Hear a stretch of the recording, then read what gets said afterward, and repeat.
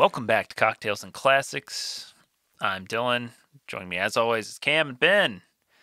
And this week, last week, we did Dune, and I mentioned that I had never seen Christopher Reeve Superman movies. And Ben suggested we should watch Superman for the podcast. Here we are, watching Superman, the movie. To kick things off and get everybody in the right mood, we're going to go to this week's cocktail. It is the Black Superman. Are they actually going to make? Are they going to make this one? Or are they just going to talk about putting it in development for a couple years and then just let it go away, like they did with the movie? The second one. Not bitter, sounds like. Sorry, Michael B. Jordan, no movie for you. I will say Michael B. Jordan, I feel like talks about making a lot of movies, and then a lot of them don't come out. this one moved, I think, pretty far along, but then the whole, uh, you know, shenanigans Strikes with stuff. Well, the whole Warner Brothers doing a bunch of weird shit and then canceling a bunch of things, and then they brought James Gunn in, and I think right now that movie's just kind of sitting in limbo. The Black Superman is a cocktail that gained popularity in the 70s and 80s, often associated with disco culture. Its name is believed to be inspired by the song Black Superman Muhammad Ali by Johnny uh, Wakelin and the Kinsa Band, which was a hit in 1975. Uh, this cocktail is a favorite among those who enjoy a strong, fruity drink with a little bit of a kick. It's a powerful, full bodied cocktail with a sweet, fruity taste and a strong alcoholic undertone. It's a combination of tropical fruit flavors, dark rum, give it a unique, rich flavor profile. I feel like I'm reading like an AI generated statement here. Might be. but uh, to make one, it's two ounces of dark rum, two ounces of pineapple juice, two ounces of orange juice, a tablespoon of grenadine, um, and you make it in a highball glass. What's not to love? Yeah, if you want to do a, if you don't have dark rum, you want to do like a little even further tropical variation. You could use coconut rum and really just go full blown into the sweet uh, tropical flavors. But yeah, there's not. I, I mean, obviously, some of the ones were like throwing it. Were like in the movie they drink whiskey and and here's a whiskey cocktail. That ta- this one the the title. He doesn't. dr- He says it himself, man. He doesn't drink. Yeah, you doesn't know, drink, he's doesn't over- lie, doesn't smoke. He's over 21. He doesn't drink. That's all you got to know. Andy likes the color pink. Don't forget that. Does like the color pink. He likes pink underwear. He didn't say that. Oh, he didn't say that. no, He just said he likes was, the color pink. In fact, he said he w- he was just asked, "Do you like pink?" And then he said, "Yes." in context to something else. Well, yeah, but even then, he didn't bring that up in the first place. no, no. You Lois, forget that he's socially inept. No, Lois Lane is fucking cringe lord. The whole interaction was cringy. How but how let's big are you? on- I let's- mean, tall. huh? yeah. What color underwear am I wearing? I thought that was gonna go a different direction, and he was like, "Uh." Also, who, No, who makes weird. le- who makes planters out of lead? I. It's the I don't know what time period It was takes it was place in, the I mean, it was the 70s. They were making shit out of whatever they had. yeah. How everything was lead paint. Lead paint and asbestos, baby. Yeah, Build they fed that their shit kids to lead last. paint, paint chips. Yeah. Mmm. Yummy. Mmm. Tastes like iron. Sea salt and vinegar. Lead chips. They do do the. They're like, uh, don't smoke. Why? Lung cancer? Not yet. But you might get got cancer. You might, you might get cancer from the X-rays I'm currently pumping into your body. If you were a loved one to have mesothelioma, please call this number now. What's the new one? If you were a loved one at Camp Lejeune between the years of 1990 and Ah. 2002, call now. Uh, well, if you're looking for a tropical drink and you want to kind of get in the mood for um, to watch the Superman movie, make yourself a black Superman. Check the show notes below for the recipe, um, and you can hit the casker links to get yourself some uh, rum delivered directly to your door. And uh, head over to Instagram, send us a picture of your black Superman. Check out Superman the movie on Max as of recording, because we're gonna spoil it. It's all right. It's a what fifty year old movie at this point. There's not a ton to. I haven't seen it either though, so There's not a ton to spoil. the only one. and I feel like a lot of, I mean, the biggest part of this at the ending, I feel like has been riffed on a, a ton. I forgot that this movie ended in the way it did, so I was at least kind of surprised when it got there. I thought I thought it was the second one that did that, or do they do it in both? There's no way they get away with that in both. okay. It's, okay. They do it in both. Um, yes. I I don't know. Okay, I can't remember um if they actually do it in the second one, but here's what I can tell you. I have watched the Donner cut of the second movie, and in one of the cuts they do it. I I can't remember which one. I think it's the Donner cut of Superman 2. Okay. I was gonna say like I know everyone like hates or disliked Superman two, and I thought it was because of that, but maybe it's because they redo that whole ending again, which we can get to into uh, get to into a second. Um, Superman is a 1978 uh, action adventure sci-fi film based off the comic books by Jerry Siegel and Joe Shuster, written by Mario Puzo, directed by Richard Donner. It's the story of an alien orphan who's sent from his dying planet to Earth, where he grows up to become his adoptive home's first and greatest superhero. Currently sits at a 7.4 out of 10 on IMDb. It was nominated for three Oscars Best Sound, Best Film Editing, and Best Music Original Score. And then it won a Special Achievement Award for visual effects.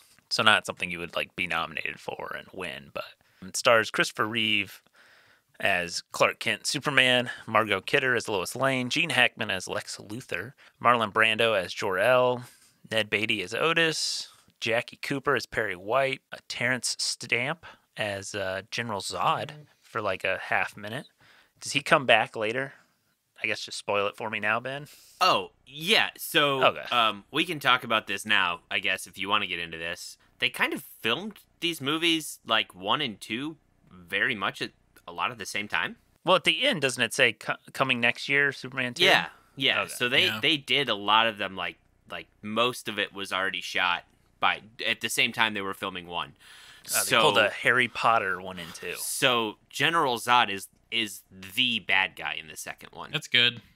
Hopefully, it's a better bad guy than Lex Luthor in this one. General Zod in the, the in Superman 2 is is phenomenal. They bring back and I kind of forgot the things that he says of, you know, like the You will bow down before me, Jor-El. I swear it. No matter that it takes an eternity, you will bow down before me. Both you, and then one day, your heirs. that's the famous you will kneel before Zod. That's where that whole thing. I didn't I forgot that they kind of set that up in the first like 10 minutes of this movie too. Yeah, the second one plays a lot more with the the three Kryptonians. I don't think Lex Luthor was necessarily a bad villain per se in this, Eh, but I think they like the tone of this movie is so all over the place. I feel like yeah, when it- that's the problem with Lex though. Is first off, I he's he's like in an underground. He's like living in the subway. You know, like that's kind of weird start to this guy, um, who's like the head of a multinational corporation. And then yeah, like as you said, the tone with him is all weird. He's very serious, but he has this like, but not that serious because he like does weird quips. And then he has a sidekick guy who's like a bumbling idiot who's like a comic relief, but he's not that funny. And then he has a woman hanging around that's like dressed in it has literally nothing to do with anything. and she just like yeah, she's just around to like Eye candy. dress She's around like, in it's like eye candy. scantily clad Yes. clothing. Like that's it. Yeah, Yeah. I was gonna say she's she's eye candy. so the whole and then, the whole shtick just feels bad. Like it's like this is I don't know. I just Yeah. was not a fan of it at all. The issue they had with Lex Luthor is that I'm not super familiar with a ton of of what Superman was like in the 70s. I don't know what Lex's ordeal was at that point. I don't know that he was like the businessman, mil- billionaire type that he is now, or it kind of has been in the comics for a- while as much as I I think he was kind of in a weird transition between like evil scientist and business tycoon type character. So I can't say for sure what he was in the comics at this point cuz that might have been closer to what his character was back in the mid 70s when they were writing this. Um Well, it's weird because he's like he's got that like whole underground like subway train under under the city city thing that he's living in, but then like he's buying all that land, so he has money. Right. and Or he's just he kind of on the cash. lam because the people are like looking for him, like the cops are trying to get him. But are they looking for him? I, Yeah, at the very beginning, that's what they're that's what they're doing when the one cop dies. The guy like Um, tails Otis. Which again could also mean that, I mean, that money might not have come legally.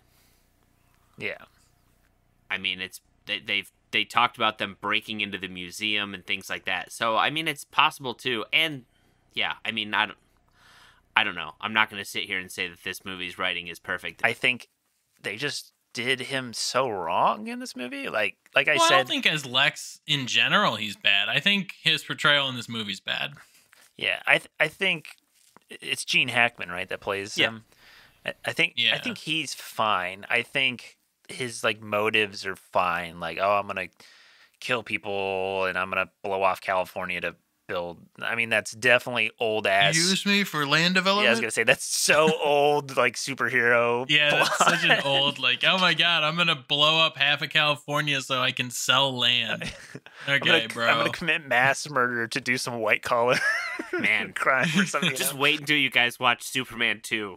Or if you Oh, really want to hate yourself, go ahead and watch uh, 2005 Superman Returns. Also, I really love. Oh, where's the other missile going? Oh, it's going to this place in New Jersey. Lex, my mother lives in Hackensack. Yeah. like, we're okay. All right. I- I'll be honest, my biggest takeaway rewatching this movie, I forget how little Superman is actually in this fucking movie. Yeah. yeah. You don't see him until like the first half hour of the movie.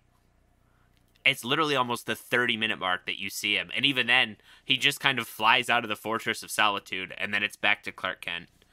Um, and then, yeah, you kind of see him do like, you know, when he does the, the helicopter The rescue. montage. Yeah. oh, I he- was thinking before that where he does the montage of saving, or is it after that? He does the montage of saving I think it's people. after It's that. after, yeah.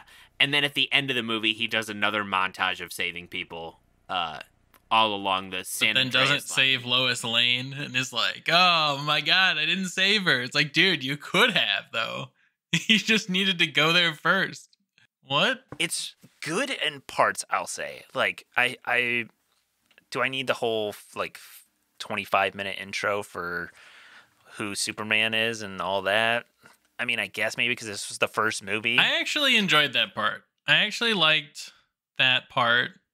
I liked Marlon Brando as Jor-El. the dad. Jor-El. Yeah, I liked him as Jor-El. I actually didn't mind that part. Um, it just so, felt a little long so for the whole movie It was a little long, but this is like this first. screen Is this the first superhero movie ever? yeah, pretty much uh, I mean, one of the first big ones, probably. yeah, it's like the genesis of what we know i feel like as a superhero movie now. yeah. So, so if you think about it, before this, you had um the the last like big screen superhero movie, at least of like mainstream superheroes, would have been in the '60s. So it had been probably about a decade, because Batman '66, the the movie, um, came out, but that also had the TV show to help establish what what everything you know. Not that they really went into a lot of depth on on Batman's background um, necessarily in that show, but by this point, yeah, there had not been, and I don't think. I mean, there had been cartoons and things like that for kids, but I mean, in terms of mainstream audiences, the serials in the no, never mind. The '50s uh, TV show with with uh, George Reeves would have been would have been it. But even then, yeah, that ended in the the later 50s. So I mean, it had been almost 20 years since mainstream audiences really knew anything about Superman. So it made sense. Also, think about it. Um, a couple different things to point out. There was talk of the missile going off a- and everything happening almost as being a cliffhanger ending to the movie, and then having the second one come out the next year, picking up from there. Also, the fact that Superman 2 came out almost a year, like, really quickly after, and they were planning everything during. If you look at Superman 1 and Superman 2, like as a as a joint piece, you don't have to watch three and four. In fact, don't never never Hmm. watch them. Don't do it. It the bad bad bad. Um, but one and two kind of being this connected joint piece, it makes a lot more sense for the second one that you have them establish what happened with Krypton, what with the Council, things with with General Zod. Um, you really need that, and I I think it works better doing it here as you're explaining the entire origin story versus trying to retroactively go back and do it during Superman 2. I, I think this is one that was almost planned to be like a six hour movie that, that was splitting in half. I did not expect uh, Krypton to just like totally get fucked. like just the huge explosion. I was like, I was like, oh man, like you know, they're gonna die. Like it's gonna, you know, like crumble or something. And then it was just like, Yeah. I was Yeah. like, oh no. yeah. Um, Krypton is really an interesting. I, I, you know, in the comic books, it's very, from what I remember of that time, feels very still 50s sci-fi y. Um, this felt to me so. St- Richard Donner was like, "How do we make this feel like a Star Wars planet? How do we do that? Black background, miniature kind of painting, dome shapes. I, it very much felt like they were like, "How should we design Krypton?" And they were like, "Go watch A New Hope a couple times, uh, and then come back to me and, and show me what you think this this should be." while we're on the intro, the like 3M hyper reflective outfits were was a weird choice. And I don't know if that's like a practical thing or if that's a like they did that in post because I feel like it's so reflective. It takes out like it underexposes all the faces so you can't really see what else is happening in the frame. it's just everyone else is like a highlighter. I Just their bodies. I don't know that they did it in post. Just also the fact that I, I don't know, but like even when they did like the the reds in that as things were exploding, it looked very like a reflective, like a reflective red. Everything looked super reflective. Yeah, it was a weird. It was a it was a bit much, bit much. So I know we've kind of talked about this like in our friend group before when we like talk about like Marvel versus DC, that sort of stuff. Like how Superman is kind of OP, like overpowered. So what is the deal with Okay, so Kryptonite, Yeah. Yeah. is that from that's from Well, Krypton, Yes. right? Like that is on the yeah, planet they're and pieces of Krypton. and that's They are. why they're not super powered there. No. No. So no. They're not super powered there because their gravity is different and their atmosphere they're not is different. superpowered there Okay. because they have a different sun. Yeah. It's the effects of the sun is Okay. what gives But Superman then- his his powers on Earth. But then so the Kryptonite Yes. is like the interior of Krypton, so like they never really is- experience it. Kryptonite is the um I I mean it's basically so imagine just like an astro like like asteroid or something else that would fall to Earth, right? It was probably part Yeah. of another celestial body at some point. Kryptonite is just pretty much that, but it's it's ra- like a radioactive meteorite that's falling. Because I'm trying to from- figure out like It's if- the since it's I don't understand how Lex Luthor knew radioactivity. that Superman. that part was crazy because he's like that I part think doesn't make he any put sense. it together with the radio because it's radio due to the explosion, radioactive pieces of that. I, I'll be honest, I, I'm not hundred percent sure how they they put that together. Um, well Lois just like put all the secrets out in the world. Yeah, It's like oh you yeah, can't look she through lead planners. straight She's up- from Krypton. Straight up put him on blast. Um, It blew it blew up in like 55, so then he got here. Yeah, but I still don't understand how Lex Luthor was like, "Oh, he's from Krypton, this radioactive rock that we found on Earth around the same time. That's his weakness because it's radioactive." It's like, how do you know that? he's how an do you know? IQ How of could you two hundred. possibly know dense that? fuck. You're just too dumb. he didn't You're show just it. too dumb to he get didn't it. show it in the movie. He's so smart. Why did he hire that dumb fuck to, to like not do anything right? and he kept him around. because it's cheap, Cam. It's cheap labor. But he should know that he should pay. Eh, that's an investment, and that will return dividends. Can't do it. I'm just trying to figure out why like they would have never interacted with the kryptonite in on their home planet to where it like affects them Because- like it does on Earth. Because the Because it hadn't exploded yet, right? Yes. Like the kryptonite is pieces of From krypton ex- that like were it's like from the the when it- exploded interior planet. core. uh, when it exploded is when, When it, it exploded. exploded. is when it basically Went became radioactive. Yeah, yeah. Oh, go- okay. All Yeah. right. That makes, all right. That makes more sense. I was just, So basically, I was just like, huh, it's from his home planet. How would he have so- never so like? Krypton's there, and then the whole like Chernobyl explosion happens and sends everything out, and that's when they become. it's like the San Andreas gases. fault. When when two continents Yeah. to collide, it causes Yes. a, no. Exactly, and that's why we get earthquakes sometimes.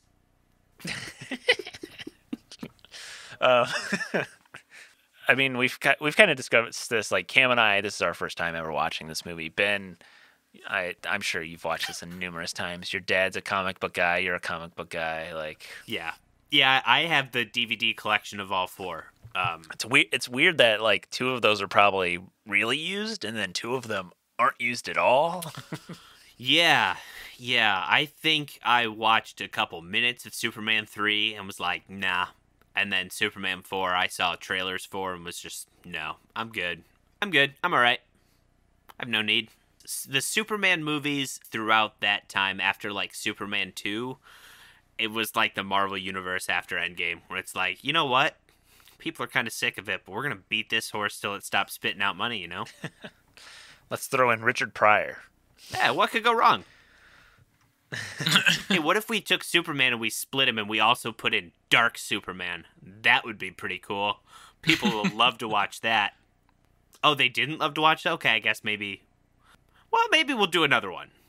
Oh, wait, hold on. the, then the Christopher Reeve accident happened, and that's kind of when we stopped. But I have a feeling, even though Superman 4 flopped, they, they would have they would have kept going. The scene in the Arctic when Clark throws the thing, we get the Fortress of Solitude.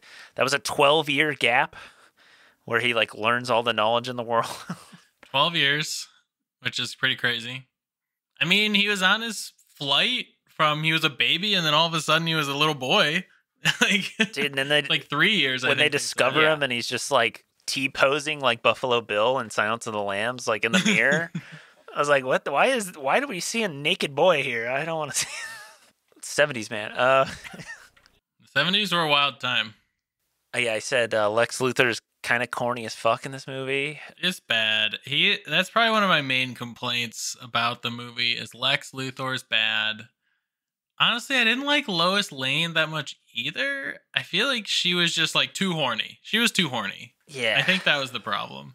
Well, and She was way too Well, horny. It's funny because like I don't know. So I think Christopher Reeve does an amazing job with like the the duality of Superman. Like there's the scene where he's talking to Lois at her apartment after she meets Superman and he's kind of like takes off the glasses and he's like Lois, there's something I have to tell you. and then she ignores him completely and he's like then I decided, well, darn it, I was going to show you the time of your life. he does a really good job kind of like separating like the totally awkward like kind of little hunched over Clark Kent Yeah. and then like the straightened like superhero deep voice Superman So but people off camera were were they'd kind of all said that the like no one no one's gonna get the whole he puts on glasses and that's the only difference like there's no no one's gonna recognize this. And then they they were talking with christopher reeve when he was in like the clark kent hunched over and talking. And then they said when he took the glasses off and stood up it they were like holy shit. Holy shit. Like you're you're a completely different fucking person. And they're like okay no we we believe it. It makes sense. We get it. We get how this works now. Well, and part of it too is like not like yeah, that's the meme, but I mean, as you said, it's like, can you imagine like the most like milk toast guy in your life is Superman? like, no, you would never fucking believe it. Be like, man, Dylan's Superman. I just can't even believe that. Thanks. but it's funny, like Lois Lane is like super horn dog, she's super horn dog when Yeah. he's Superman, and then when he's Clark Kent, she's just like, yeah, okay, whatever, dude. Like I gotta go. I gotta be so like. this is the ladies' room. Clark's nothing. Clark Oh, yeah. is literally nothing. He is a trash. He he is a piece of gum on the bottom of my Like, shoe. He's a mild annoyance at best. like like like he could. he said that to a guy, and he was like, she said that to him. Was like, Clark means nothing. He's like, oh, Um, like he had to have been fighting back some tears there. Clark, that little bitch. that's what I said. Uh, I said uh, Clark is about to cockblock himself with his relationship with Lois when he goes to meet her as Superman. Well, I mean, okay, if you think about it though, like Clark is not his real identity. So he probably wants to be in a relationship with her as Superman, but can't for obvious reasons. I guess. it's it's so interesting that they literally almost did this exact same thing um, in Batman Forever, where Bruce Wayne and Batman are both basically like with the same love interest, and like throughout different times. The one time, like he's he's basically just trying to like work his way through it not being Batman to be like can like I don't want I don't want her to be in love with Batman. I want her to be in love with Bruce Wayne so the there's the famous meme of like the the Batman with like the almost the like the Macaulay Culkin looking smile. Do you guys know what I'm talking about? I don't think so. Let me see if I can find it. I'll drop it in the chat. Wait, maybe I do. I- Okay, yeah, I know what you're talking about. I could. so this was just the first like the first thing I found. Um, He's so gumpy.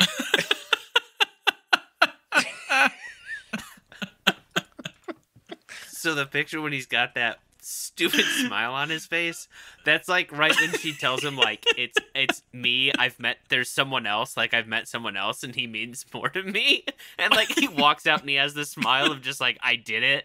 But it, it just looks so it looks, it looks so bad. So stupid. it looks so terrible.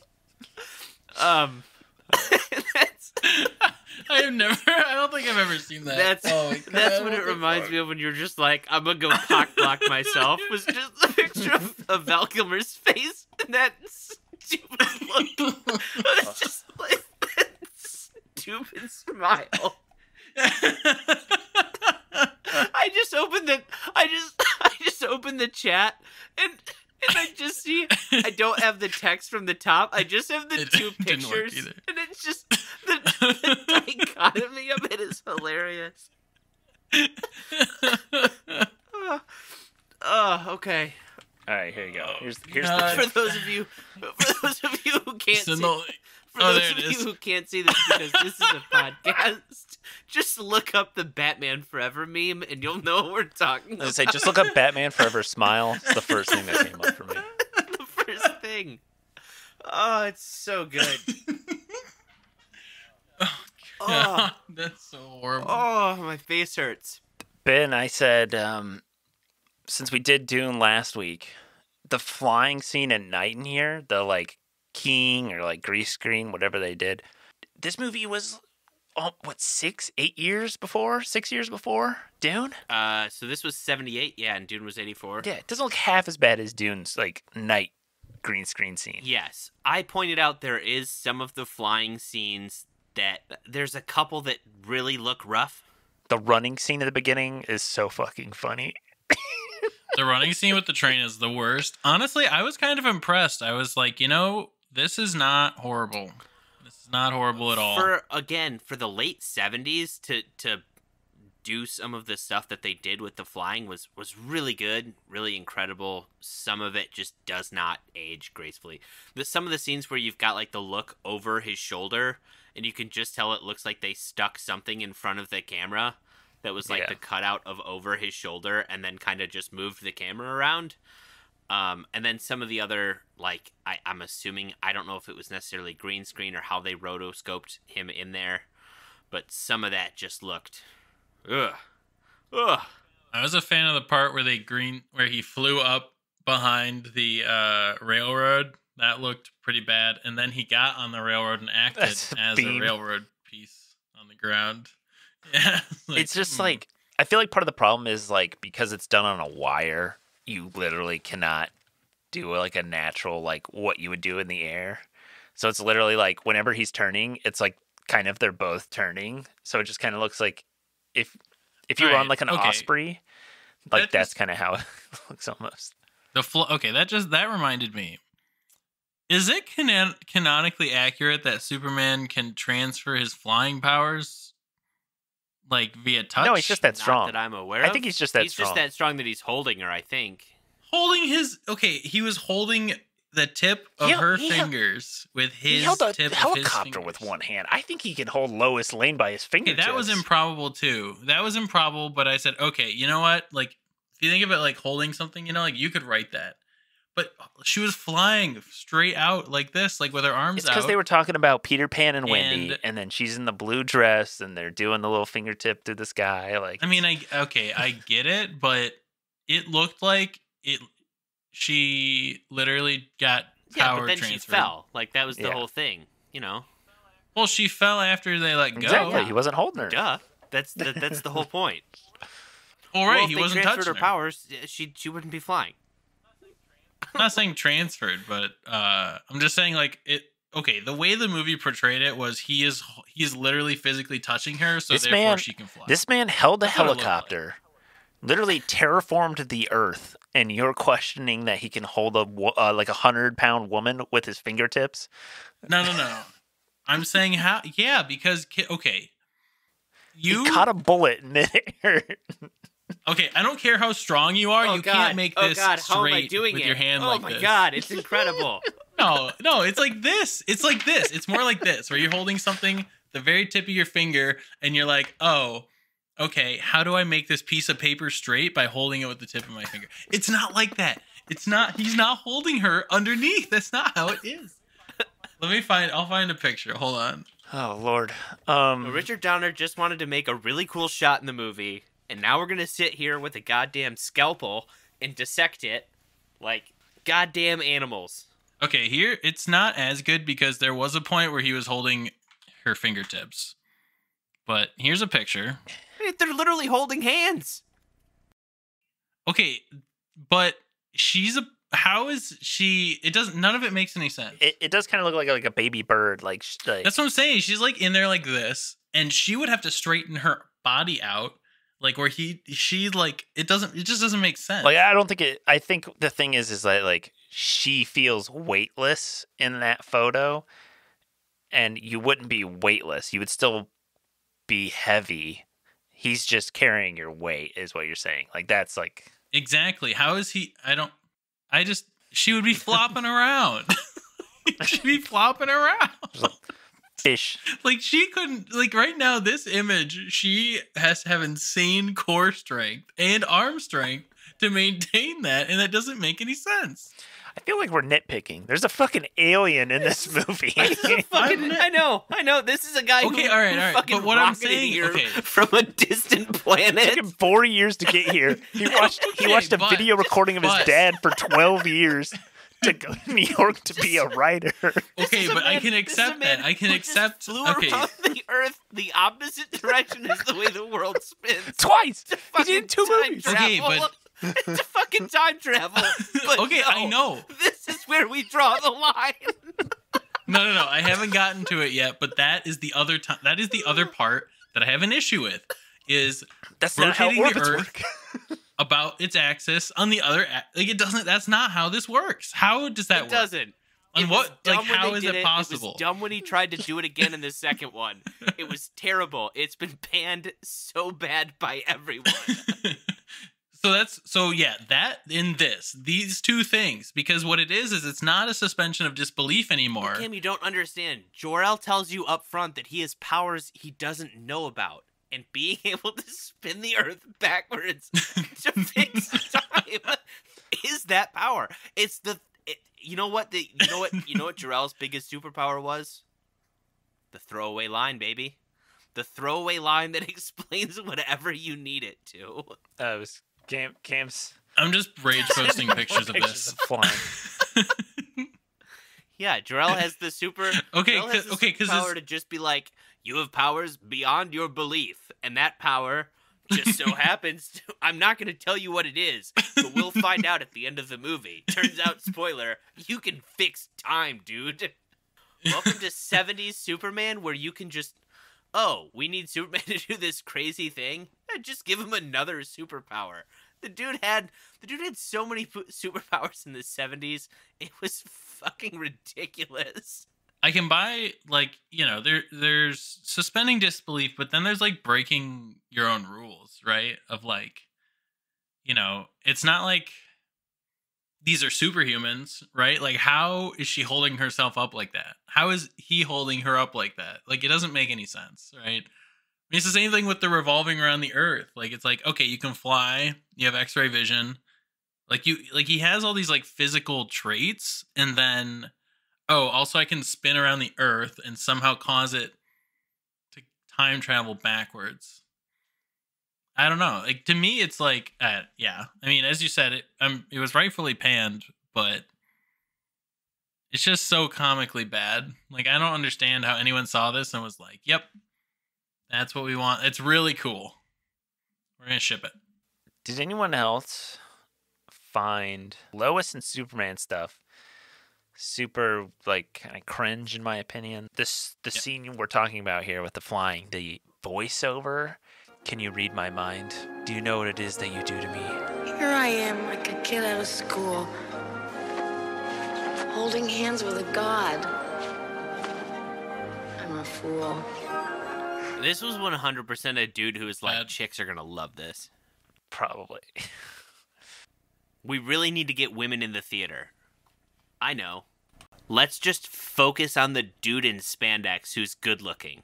We should put more of him in. No, no, I've got it. Guys, check out this poem I wrote. It's going to bring all of the chicks in. Like it just it it doesn't. I feel like it doesn't fit at all, especially the fact that it's doesn't. voiceover. Like we talked about this in Dune, all the use of voiceover, and then this where it was like just kind of cringe, and I was like, oh god, like even if you're like in a, this love scene, I don't think we need that. We, I think we can infer from all the other weird things you guys say to each other. I don't think we need this. This man is still posting shit on the goddamn physics of them flying in the chat. Let it go. Let it go. Look at Let the video. Look at the go. video. I watched- Look I watched the I movie. look at where the video at the time. No, but look at the video at the time that I put. Okay, she is still flying comfortably, as he is as they are holding fingers, fingers. Like she is somehow maintaining. I know. I know. I know that I came back to it. I know. I'm sorry, but like they're holding on fingers, and she's still cool up until the point where they let go, and then she instantly. Maybe it's because her arms are out and they're traveling so fast She's a bird. that it's if you're just, a bird, I'm a bird. It's just literally like it's Bird. it's more like the like if you put your your hands out like on a roller coaster, right? And it's just the wind pulling you back. Maybe she's got her arms out and it's just being pulled back like that. Again, I think she should be. If this is how this is, I think she should be flopping around. Like, Yeah, She'd 'cause be that's what flopping everyone wants to see underneath in a movie theater. It's just some lady flopping around in the wind, like a, Why- why do you like a think you never- goddamn plastic bag? Fucking American Beauty style of just just some thirty seconds of voiceover of her reading this fucking poem while she's just oh, fucking flopping around the screen. her, her cheeks are like. We're going so read- fast, Superman. Can you read my mind? Are you? I don't know who you are. if you need someone, come to me.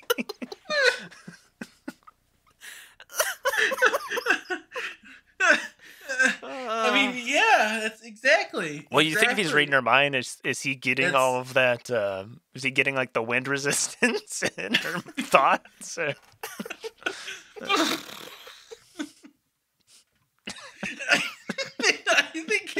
it would have been so much better if she was just bragged or, or just just imagine she's like, "Can you read my mind?" Holy shit! How am I flying like this? Physically, it just doesn't make sense. Physically, it doesn't I mean, make I'm any not- sense. I'm not a doctor, but I'm not a pilot, but this doesn't make any sense. According to all known laws of aviation, bees shouldn't be able to fly. Their fat bodies are too big for their tiny wings. Uh, I hope I hope whoever's listening to this is getting as much out of it as I am. Yeah. the movie would have been better for that because we because we would not have gotten the cheesy dialogue you just mentioned. just been here flop. Bonk, bonk, Lois. Go to horny physics jail.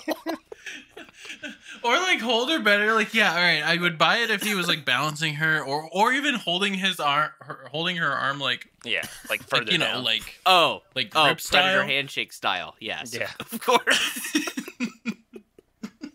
oh God, oh God. Apparently, this is fantastic. I did not know this. Apparently, it was originally supposed to be a song. S- Margot Kidder was supposed to have a have a song in the movie. okay, that would have been so much worse. Apparently, he heard her singing and was like, "We're just gonna have it be a spoken poem."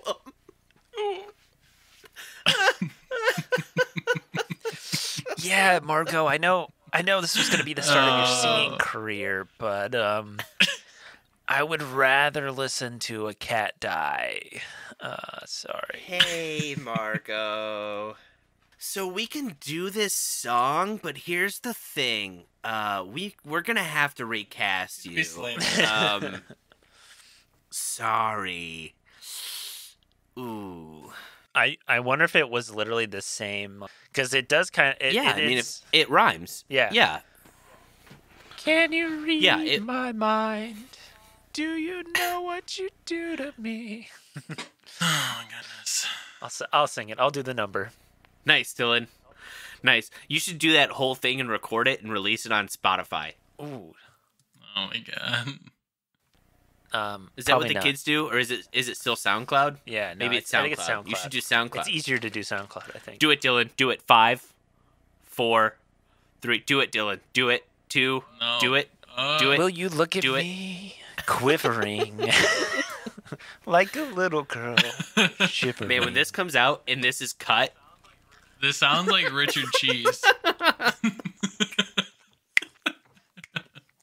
you can see right through Uh. me. Can you read my mind? Release the song cut. Nope, nope, that's all gonna get cut. No, it can't be. You have Release to the put Donner cut. You have to put give that us in. Uh, the Donner cut. Man, I can't wait till the end of this podcast where Dylan just flies around backwards until we never recorded it. yeah, there were lots of good parts about the movie, though, as you said before. Like I, I mentioned this already, but um, Marlon Brando's Jor-El was pretty good. I think the opening sequence, given that we had never, this was like the first Superman movie really in mainstream. I think was fine to spend that much time on it. Honestly, I I thought that the his parents were or the Kents were pretty genuine. Uh, that was good. I mean, Christopher Reeve in general was really good. Like as he's just like I think he plays the part really well. In general, like a lot of the CGI or practical effects held up okay. Like it's it's shockingly not horrible. I feel like most movies from this era, with the exception of like Star Wars, are like horrible CGI hold up. Like you watch them and you're like, oh my god. I mean, you guys were just saying like the Dune CGI is worse and it came out ten years later. Like it's bad. Yeah, the Dune CGI was rough. Yeah, the I've I haven't watched it, but I, the uh I've seen the scene where they like turn on their like shields Oh and then yeah, go at it's like blocks. Um, like Roblox characters. oh my god. so an interesting thing about the the Kents in this movie that you uh, you you just mentioned, this was the first time that both Kents weren't alive for Superman as an adult. Throughout the comic books at this point, Jonathan both Jonathan and, and Martha Kent were alive well into Superman's adulthood. Um, and throughout comics on and off, they kind of have or there's been different I mean different stories where where they've had John that uh, Clark's dad has died earlier on, and somewhere where he's he's still around. Um, but this was the first one where it was like, oh yeah, he's like a teenager, and kind of that whole thing where it's like that. There's just that, which I think was cool. I don't. I I know there's there's other stories that touch on it more. I I don't love how they did it in Man of Steel, um, but in in other mediums where they've done it, where Clark's dad dies of cancer, and it kind of goes to show that no matter what he does, sometimes you can't save everyone. Uh, I always just thought that was such a kind of a cool, uh, a cool caveat to put. I mean, it's the it's the superhero rite of passage, right? Like your Yeah, your father figure uh, dying. And, but just I mean, you know, like I I know in in Spider-Man's case in the comics with Uncle Ben, it was a thing where it's like you could have prevented this, and this was kind of you, but like the guy who literally can do anything, even even fix time. No matter no matter what you do, you cannot go back in time and stop your dad from getting. No matter what you So do, over why didn't he over. just fly around his dad a bunch to just reverse time on his on his dad? And, to do what? I mean, it, he still would have gotten to the point where he would Time have died travel. at that point. yeah, Well, yeah, but you but just there's keep nothing doing you that. can do. You just keep well, I doing mean, yeah, I guess if that's how you want to live forever. you just make him if you younger. just want, time you if just, you want to spend your entire life groundhog's daying someone, go for it. But it's a lot. Also, just I just imagine like he's like twenty, and and Superman's mom is still like sixty something. just, Okay, like, just- awkwardly just, like- like, oh shit. have him have him do a hug and then do it. I don't. I don't think you can do it just that specific of a time. I think you have to fly the whole Earth. I, I, I don't think it works if the Earth keeps spinning in the same way. Because Well, otherwise, he would have changed time when he spun into the sewer, with how fast he was going to drill down. Mm, well, but he wasn't going. He was. He wasn't. He Oh, wasn't that's going true, like this. He was circling, rotating. He was just rotating himself. Got it. yeah. what what's Clark's mom's name? Martha. Why did you say that name? oh my God. Oh, I knew where it was going. The dumbest I fucking point. knew where it was going, and I still let myself walk into it. the dumbest plot point of any superhero I, movie. did, I, I think. never watched Smallville, but I kind of like seeing like teenage angsty Clark Kent being like, I could win the football games. I could get the cheerleaders. I can do all these things. And he's like, You're just showboating, Clark. You don't need to do all that. And then, yeah, we get the worst effect Where he in like the world. kicks the football like a thousand yards. I was expecting once it cut to the train, I was expecting the football Oh, to like yeah. hit the train. Just gonna throw a like, football "Oh, over shit, the mountain. I was not. I was not expecting a really bad uh, running. him running with the train scene. Oh, okay. There was a split second where I feel like I saw the camera operator's reflection in the in the train. You, you probably Like- did. like it passed by the camera, Yeah. and I feel like I saw the reflection of the camera operator. You, you probably did. There's a scene, the scene after Lois like turns him down and she goes into the ladies' room and he like sad walks to the elevator. Yeah. You can like see like as he goes to around that corner, you can see the extra like who's walking past the camera like look up and glance to see the camera or like a like an assistant director or something like signal him and then he walks because he's like looking at these papers and he like looks up and then like keeps going. So this is kind of an interesting, uh, and it in I don't know how much of it kind of crossed over, uh, but in Superman two they used like mirrors all over the Daily Planet to make it look like the hall was longer, like when they have like the row of cubicles. So uh, it's it's impressive that they didn't run into issues with that. So I have a feeling they had to film it like at specific angles to make sure nothing looked weird. Um, uh, you guys want to dive into a, a little a, a little bit of trivia? yeah, let's do it. Sure.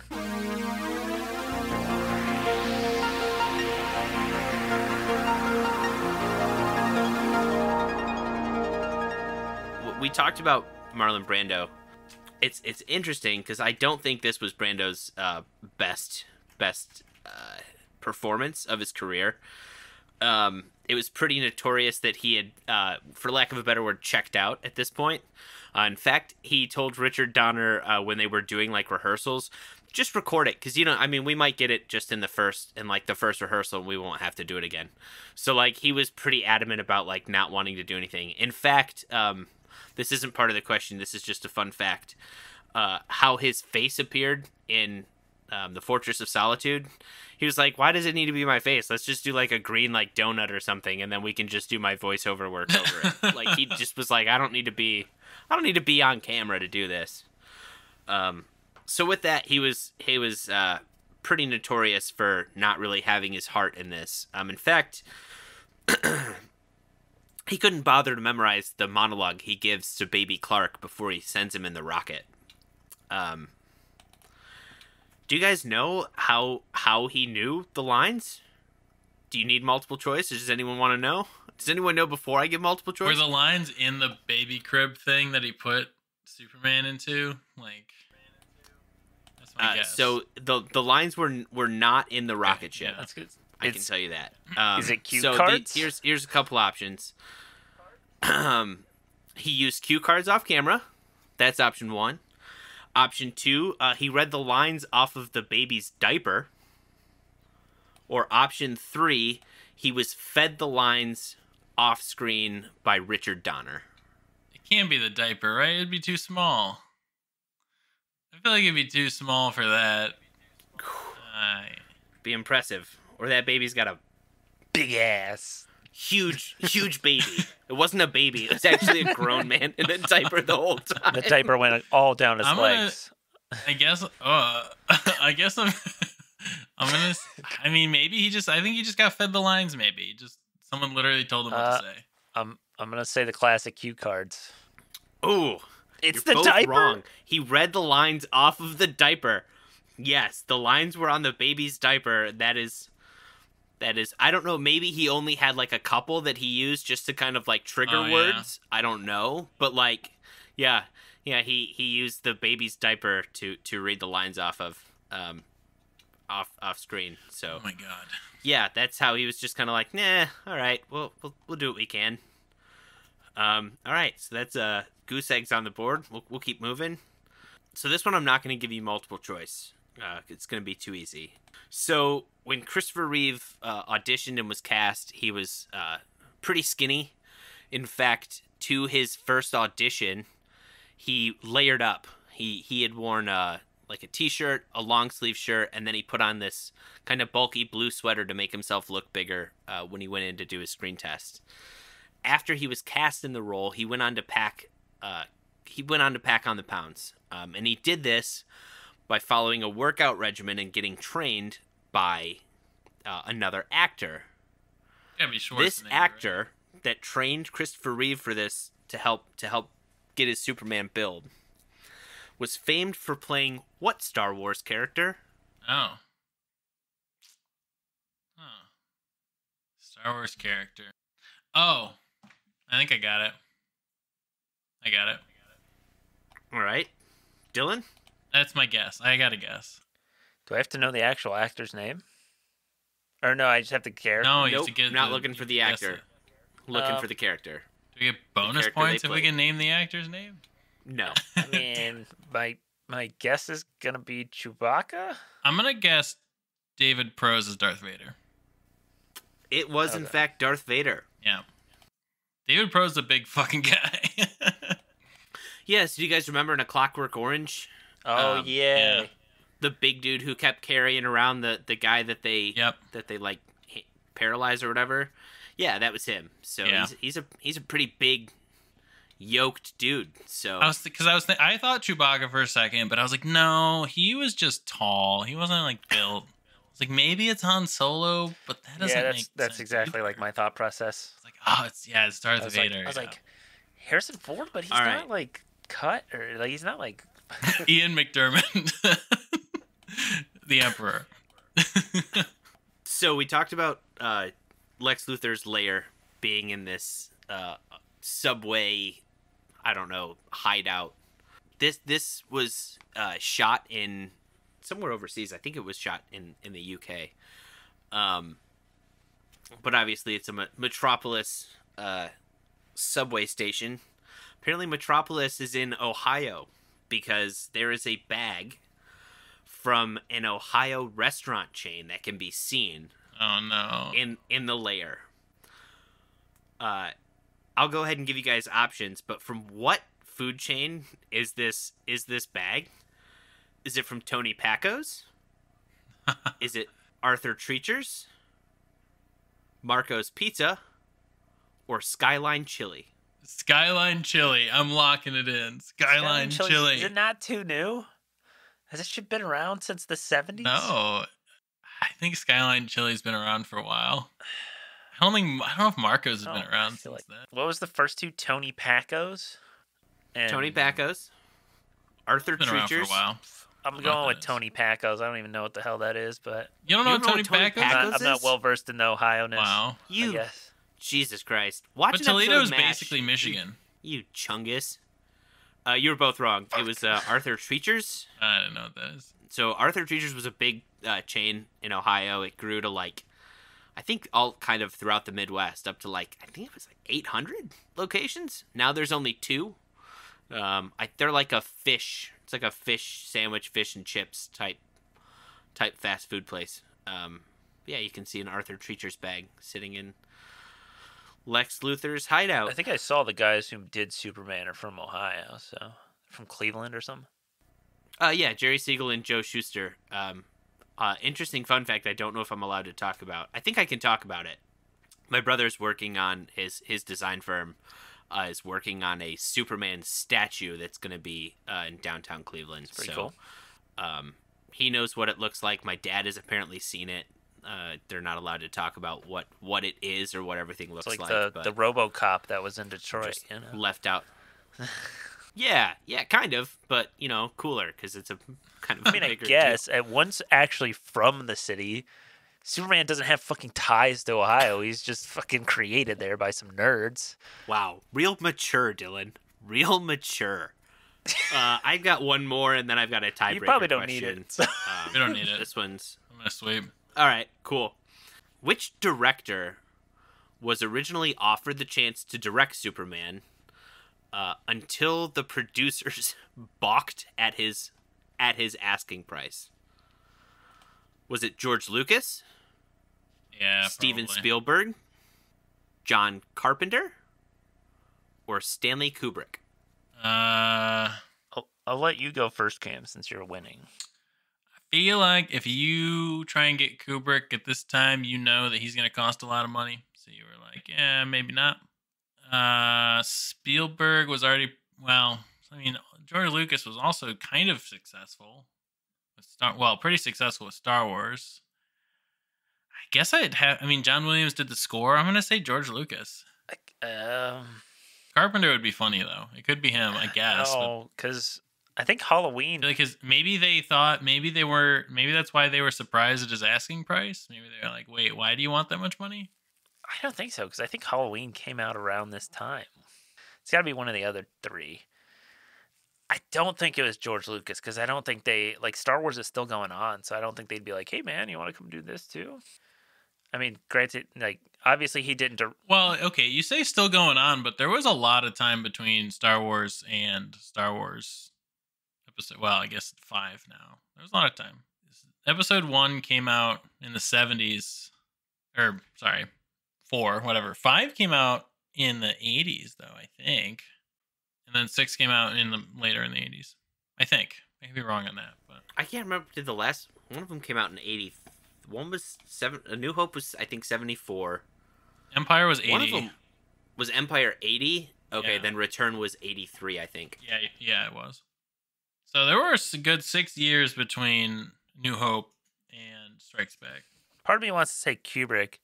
I feel like he would ask the most. But I feel like they wouldn't be surprised at the asking. Yeah, I mean, I mean, well, maybe he would have asked a shit ton because it was something just that he didn't really want to do. Um, I'm gonna go Spielberg. He wasn't like, I feel like he wasn't quite the Spielberg that we know today. I'm trying to think like maybe Close Encounters came out already. Maybe Jaws had come out already. I think both of those probably. So he wasn't like like Jurassic Park came out in the '90s. You know, Schindler's List was '90. Like a lot of the big stuff, I think came out later. So I'm gonna go with Spielberg. Man, looks like I'm gonna be pulling out that tiebreaker. It was Nice. Steven Spielberg.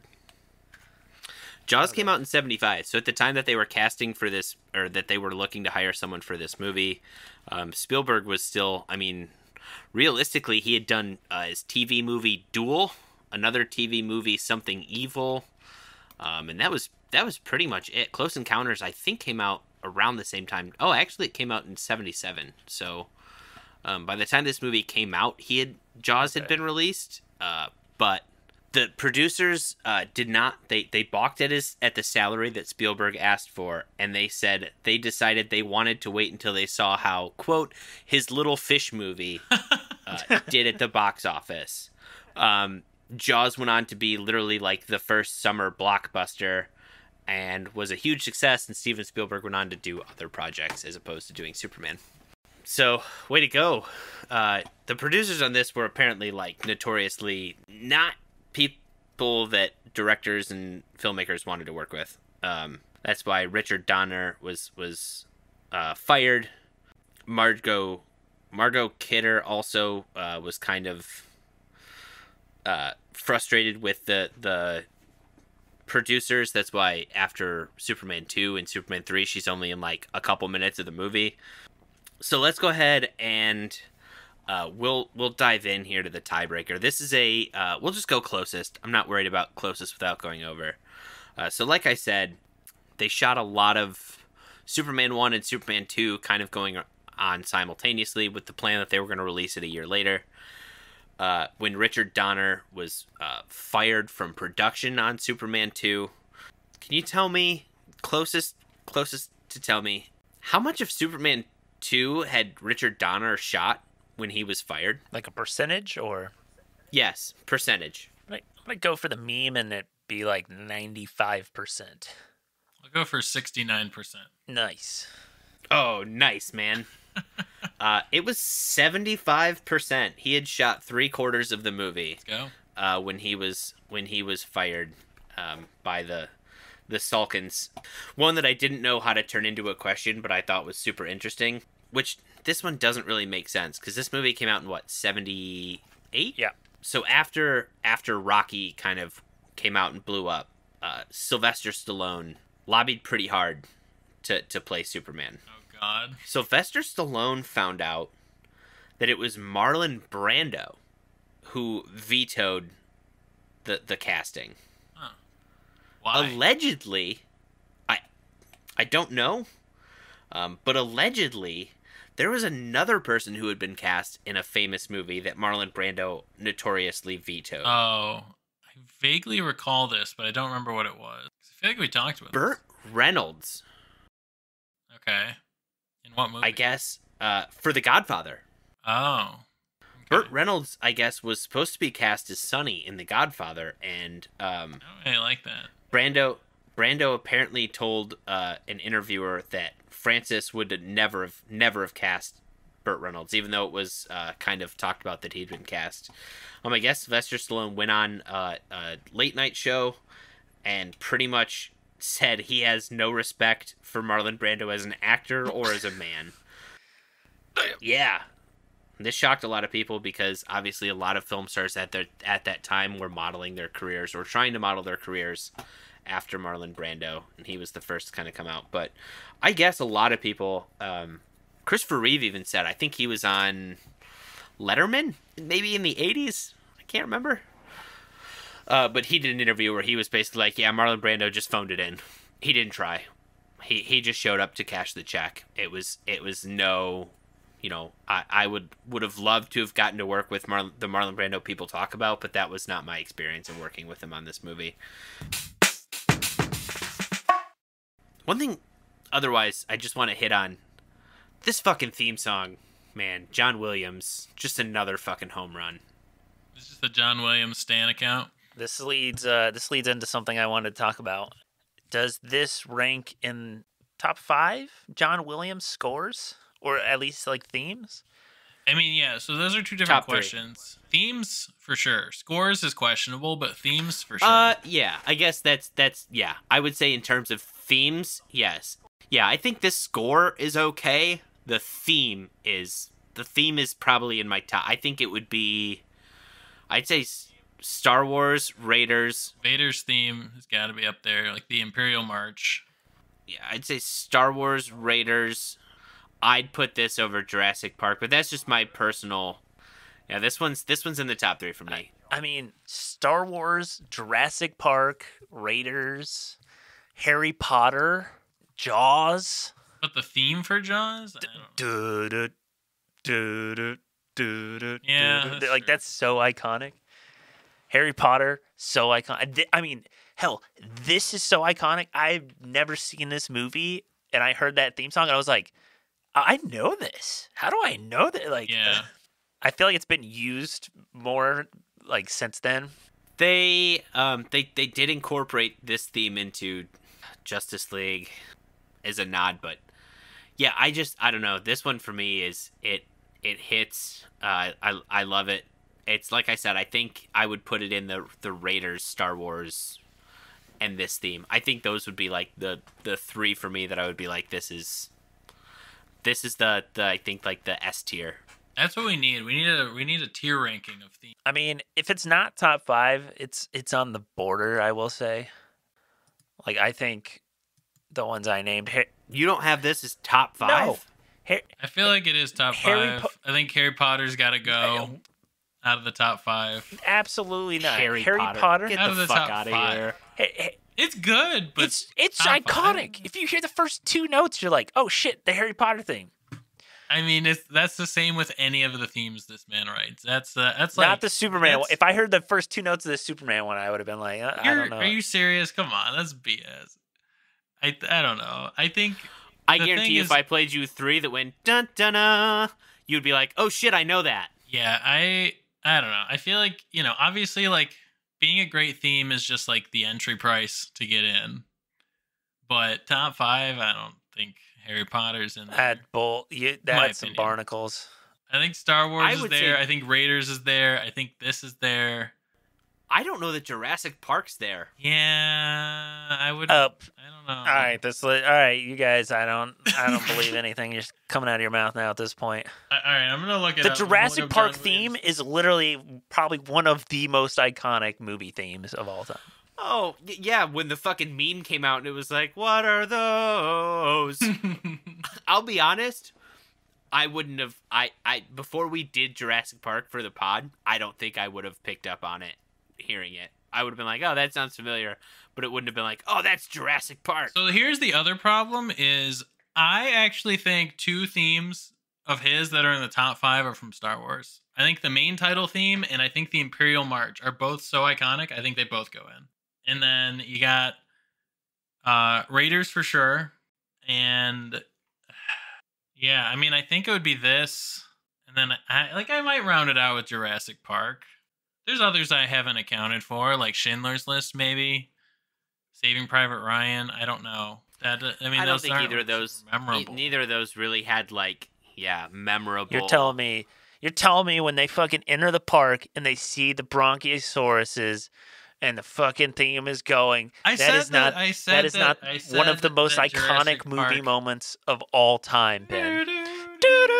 I said that it goes in the top five. Like, Okay, then Harry Potter's out. Sorry. Absolutely not. I'm sorry. I I don't hear dun dun dun without seeing Christopher Reeve run and opening his fucking shirt to reveal the Superman logo. This is the fucking Superman theme. This was the Superman theme. Fuck, it still is the Superman theme. The movie sucks. Zero out of ten. Let's move on to review so I can shit on this piece of Oh, garbage. I'm just kidding. Wow. but then it's like, I mean, Jaws is also iconic, but I wouldn't say it's like a banger, but it is iconic. I don't know. I feel like at least when I think of John Williams, I think Star Wars, Jurassic Park, Indiana Jones, Harry Potter, but that's that might just be because I've watched all the Harry Potter films a billion times. And then it's Yeah. probably either this or Jaws. I mean, I I've never seen Schindler's List, so like I can't really talk about the Schindler's List theme, but like And I mean, I know Close Encounters. yeah, I don't know. Or See, ET. John Williams to John Williams to me, it's it's Star Wars, Indiana Jones, and it's Superman. Those are like that's those are the three movies I immediately think of when I think of John Williams. This is the part of the show where we uh, we, we scour Letterboxd, we scour IMDb so, for some less than favorable reviews. Some of them people don't like the movie, some of them just memes, but I found I found a couple good ones. Uh, I'll lead off with this one, Ben, that you might uh, you might feel pretty at home with. Maybe I don't know. It says uh, from Yi Yijin on uh, Letterboxd, gave it three and a half stars. Says this is my dad's favorite film. He even brought my mom to see it on their first date. 30 years later, when this was on TV, my mom admitted to all of us that this was a pretty shitty date because my dad was so transfixed by the movie, he didn't pay attention to her at all. What a nerd. Ooh. Ouch. Combo breaker. You just imagine the dad turns this on every time. He's like, "Oh, kids, let me tell you the story of me taking your mom on our first date after 30 years." she's finally like, "This date sucked. You're lucky I kept going out with you." He's like, "Oh man, I was gonna, I was gonna play the Superman theme at our 30th anniversary party." we, we've renewed our vows to this song. Oh God. my my my, wed- my wedding vows were that Paul Margot theater wrote. Can you read my mind? if you need someone to fly to, fly to me. Everyone's just looking around like, is that the, is that the Superman poem? Everyone's just sitting there like, you know, the- I I just know there's two people. In, I just picture like two people in the church pews, like in the back of the church, just like that scene didn't even make sense. the physics were all over the place. they were flying by fingertips. He doesn't transfer his power to her. She would have been she would have been flailing like a bag in the wind if this were real. she should have just been a rag doll. Okay, but for real. Uh, from from the shooked one on uh, from the shook one on Letterboxd, gave it three stars out of five. Said funny. Exactly 40 years after LSD was invented, they produce a movie tailor made for a trip through colorful Gaga land. Being lost in a world consisting of exuberant special effects and stupid humor, this really feels like the great granddad of modern Marvel slash DC menaces. I mean, yeah, this this kind of was like the grandfather of those movies. I mean, if you think about it, yeah, it kind of is uh, realistically formulaic kind of to what the Marvel formula is, right? You spend like your first kind of third, especially in like phase one or even newer phase when you're introducing a new superhero. You got like your first like third of the movie Origin you introduce story. the the character you give him the origin story the second half you introduce the villain they have some sort of evil po- plot but like it's not like super bad you know like it's it's bad but it's not like super dark normally it's still kind of light-hearted and then the final third you have like the the climax of the movie slash superhero battle. Maybe in that middle part of the movie you might see the hero doing something that you know is they might be doing something cool like catching a helicopter or you know saving a, a plane that's gonna gonna crash or whatever. But i mean yeah realistically it's it's the formula. Is it normal for newspapers to have their own helicopters? um well okay so again here's here's the Like a interesting so newspaper? some yeah, news, I mean, some news, yes, but I don't know about newspaper. um yeah i i think that was different Yeah, I don't know. Um, I mean, maybe I don't know. Maybe they chartered it for something. I I don't know. Um, but in the comic books, I don't know if I think it was a little bit later than when the movie came out. Lois and Clark did end up actually working for like a news station for a brief point. I'm surprised they haven't kind of gone back into that because uh, print media is dying. So I'm kind of shocked that they haven't really changed their, you know, investigative journalist to like investigative reporter for I don't know X Y Z online newspaper? news. I mean, yeah, yeah. I'm su- I'm surprised she's just not writing for BuzzFeed at this point, right? Hard hitting news. Thanks, guys. Appreciate the reaction to the mm. BuzzFeed hard hitting news joke. They're out of business. Uh-huh. Loved it. Aha. Loved it. Aha. Loved it. Uh, That's true. They don't even do it. news anymore. I have no idea. I just remember there was a brief time How are where we? like How are we ever gonna know what type of Pop Tart we are? You know, that's really. Okay, their news department was actually okay. Well, that's that's what I was getting at because I remember that thing where it was like, oh, BuzzFeed for all the quirky quizzes, and then it was like, wait a minute, BuzzFeed out here, BuzzFeed's out here just like fucking dropping major news breaks. Like, Yeah. what, what is this shit? Yeah. All right, last one from Poe four six seven on IMDb gave it a one out of ten stars. Um, titled "Still Stinks" from March twenty fifth, two thousand nine. Uh, I fell for the hype. You will believe this man can fly. Boy, did I want to see this one. Superman has been a part of my life for as long as I can remember. He's always there. Maybe not up front where he used to be when I was a kid, but he's there nonetheless. It's hard to express the kind of love one feels for a character one has grown grown up with. Even now, after all these years, the eyes well up and the heart breaks the memory of a lonely childhood spent living vicariously through comic books. This guy was there, parentheses, and there for me when no one else was. For so long, I finally stopped buying comic books when they went from a reasonable 12 cents to a whopping 15 cents. Oh, I'd. Oh, I'd bought the occasional Gold Key or Dell comic at the higher rate, but they were few and far between. DC and Marvel had been my mainstays.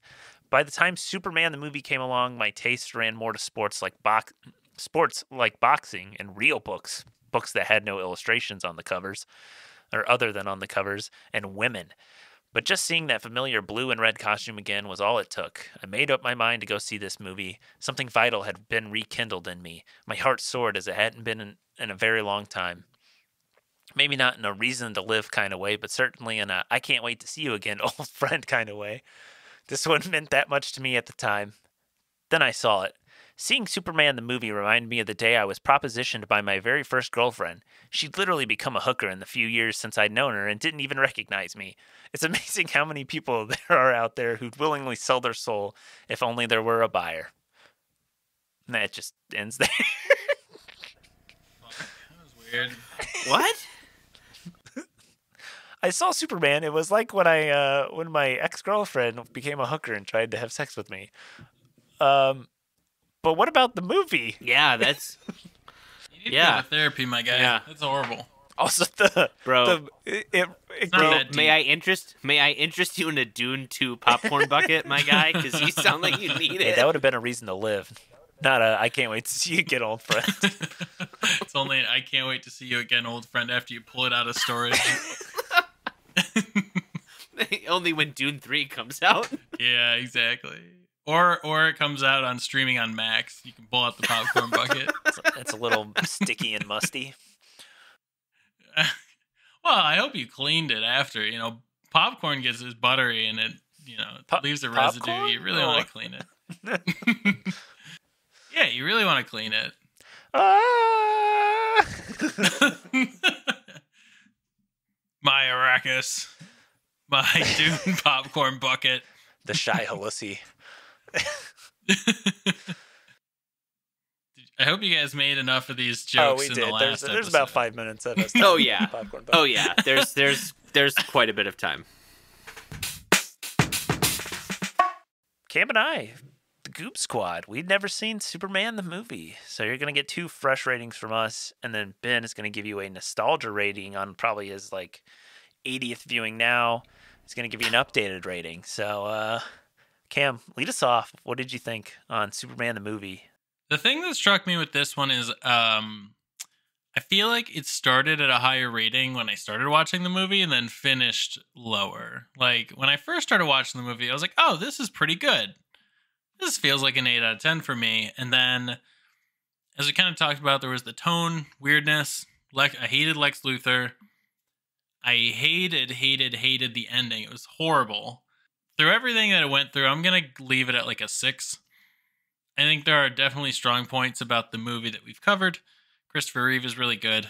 Um, and I do recognize that it had a lot of impact on the movies we get today. Um, so that's all great. But yeah, I just uh, wish that they had done a couple things differently. But otherwise, it was like decent. Like I would still recommend to people to check it out, but it's not my favorite. Also, never have seen this movie, but like the score, I, I knew the score. I knew the meme of the ending. Like it's kind of permeated pop culture so far uh, beyond, you know, just kind of being the granddaddy of superhero movies, but like it's permeated culture beyond that. I feel like for me, having seen uh, Superman Returns, Man of Steel, Batman v Superman, I feel like to me, Christopher Reeve is Superman when I think of the character of Superman and Clark Kent. Like Christopher Reeve kind of personifies that, and he does that job so well. Like we talked about earlier, of kind of keeping those two separate, and even his like body is like he's kind of like the hunched over awkward guy when he's Clark Kent, and then he's straight straightens up and he's Superman. You know, uh, cinematography is pretty damn good. Um, it's kind of interesting watching these older movies, especially since like I feel like most of the older ones we've watched haven't been as sci-fi or effect heavy as like Dune and uh, Superman now have been. And it's interesting seeing how they kind of tackled some of these things. Story, eh, it's okay. Like, yeah, Lex Luthor kind of sucks, but I think his plan is evil enough, and the the the end goal part is like just enough to get us this crazy action sequence at the end of like shit superman has to put the earth back together basically and then save all these people. Yeah i'm i'm kind of with cam where i was like eh, it's pretty good so far and then once you get the corniness it's like all right i kind of wish it was a little more serious with the supervillain part but i'm gonna leave it at a 5 out of 10 i'm not the biggest superhero person in general so like maybe that's kind of affecting it but i think it's good I would I would recommend you watch it just for like if you want to see where superhero movies have come from. I would I'd watch it again. Honestly, it it wasn't bad. Okay, this hasn't been as as as as poor as I was expecting it. Um. So I think going in, I I probably had this at like a seven seven and a half. When you uh, when it's been a, a wh- I don't think I've seen this movie and it's been years. I I don't think I've seen it probably since I was in high school. It's hard to separate Superman 1 and Superman 2. I mean there's things that you obviously separate a lot of the obviously the General Zod stuff to Superman 2, but I think the movies become better when you put those two together. I think it is definitely a a um, some greater than its parts type experience with Superman 1 and Superman 2. But with this movie itself, yeah, I think you guys touched on, on quite a, a couple things that I 100% agree with. Christopher Reeve is Superman. I, I don't know that there has been a another actor yet. I'm excited to see David I I'm gonna butcher his last name Corn Sweat Corn Sweet I don't know how to pronounce it. Um, I'm excited to see one what what James Gunn plans on doing uh, tonally with the movie. I'm really looking forward to a trailer on that to see what his his thought is. Um, to I'm excited to see if he kind of brings that same hope and positivity that I think you get from from Christopher Reeve, that real kind of embodiment of the character. He's just phenomenal in this. Uh, so good. Gene Hackman is Lex Luthor. Um, the real estate scheme is a theme that continues. But in terms of what Lex Luthor as a character was at this point in time, I mean, Gene Hackman's, I mean, pretty pretty accurate. Generic. I mean, he was kind of generic-y supervillain, just doing bad shit because he's a bad person. The biggest thing from this movie is, my God, I I thought there was more Superman in this movie. This movie actually needs more of Christopher Reeve as Superman, whether that be like actually doing something with Lex Luthor as opposed to him just kind of flying out, grabbing him, and dropping him off in prison. We didn't talk about that at all. How there's like no real major confrontation. It's just like, oh yeah, he flew in, picked him up, flew him to prison, dropped him off. The end. That's it. That's how it goes. I don't love Margot Kidder as as Lois Lane. Just I, I don't know. I, she's just never been my favorite. Overall, I think from a seven to a seven and a half, I'd, I'd probably bring it down to like a maybe a six. It's not it's it's not the end all be all. It's a really positive thing for what would come. Superman two knowing what comes with Superman 2, definitely like this kind of kickstarting it and it kind of being an overarching movie 1 and 2 definitely helps. Um, yeah, I mean, if you haven't seen it, give it a watch. Uh, watch both. If you have the time, just watch 1 and 2. Uh, it's it's definitely worth it. If you enjoyed this episode, don't forget to rate and subscribe. Share it with your friends and family. Leave a rating wherever you listen. Um, really helps us out, and a review if you can. Uh, hit up the show notes to make yourself a black Superman, and uh, hit up the Casker links to uh, get that rum delivered to your door. Uh, you can check out Superman the movie as a recording on HBO Max or Max. Check us out next time. As always, watch responsibly.